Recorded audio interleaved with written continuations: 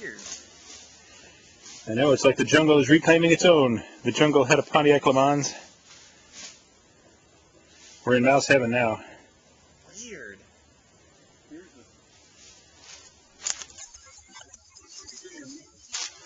Jiminy Christmas. Well, anybody back here is going to be focusing on the car and not the chimney. Yeah, we didn't see the chimney until we were There's no plate on right it. here. Or the, or the stovepipe.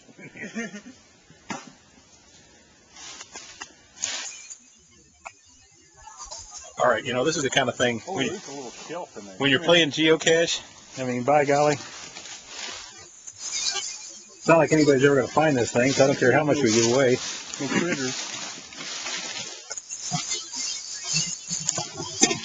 I just stepped on something here. Is there a shelf in there? Yeah. That's the fucking five star hide there. right next to the junk car. That's awesome. By golly.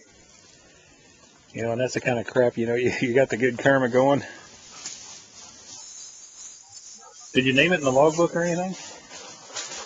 Uh, no. All right. I'm going to shut this off and we'll think of a good name for this thing. And I'll work it into the story. Sam, can you smell it? smells like smells like ammo can.